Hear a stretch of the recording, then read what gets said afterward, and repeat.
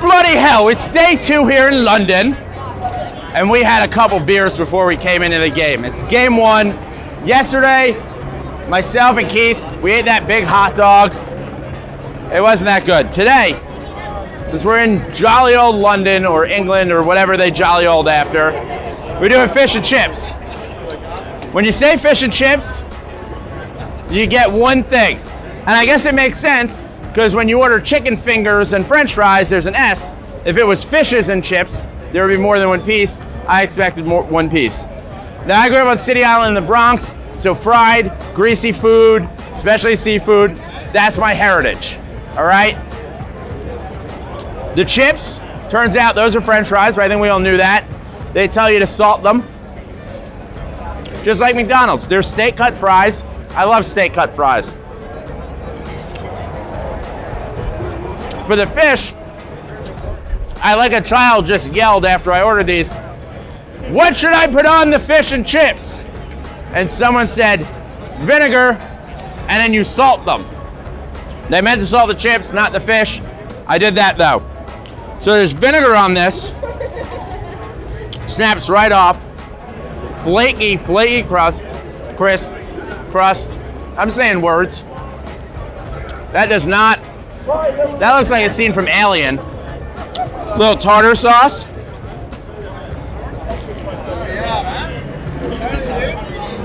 The vinegar helps. The blokes over here are being very supportive. How's it going, blokes? How you doing? I'm from America. Doing? These are my you- first are you fish and chips. You're not American. I gave it a whirl.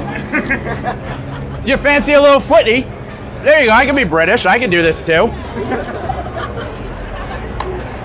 Have you had the fish and chips here? I've tried fish and chips before, and I don't think this is an accurate representation of the fish and chips available. That's what I wanted to know if this is accurate or not. Apparently, this is not an accurate representation. You want to try it and tell me? Where's your curry sauce? Curry sauce. Curry sauce. They told me to put vinegar and tartar sauce. You just go and get some curry sauce, you'll be alright. You guys are big into curry here in London. Yeah, we're a multicultural society. I like. I'm from New York. We've got Puerto Ricans and Dominicans, Mexicans. And the Jews. Yeah. Yeah. Uh, we don't say the Jews. You can't say the Jews. Oh, sorry. That's a basketball Just team. Jewish people. Yeah. Can't say the Jews. Oh man, we're gonna get in trouble. So, the crust itself is very good. Like whatever they batter this with, if they made this with powdered sugar, like that'd be great. It'd be like at a carnival. The fish is very fishy. I would not eat this ever again. Now I got a good bite in there. This is very bad. It's it's like a I don't know four eight. Like I think maybe four if I was dying. But as the bloke said, which is a multicultural term, uh, this isn't an accurate representation. But I'm not. I'm not gonna eat the rest of this. I'm gonna be honest. I'm gonna throw this in the trash right after.